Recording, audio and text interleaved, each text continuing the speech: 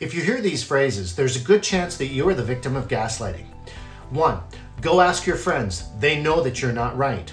Your friends are simply lying to you about X. You need me because you are useless.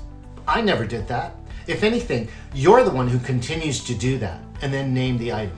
These people will also project their actions to you. For example, when you ask them if they're cheating on you, they turn the tables and don't answer the question and either ask you if you're cheating or they say, Why? Are you cheating on me?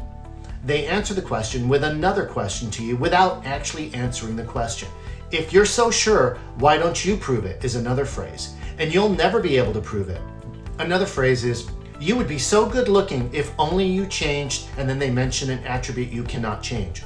Or, I see why your friends don't like you.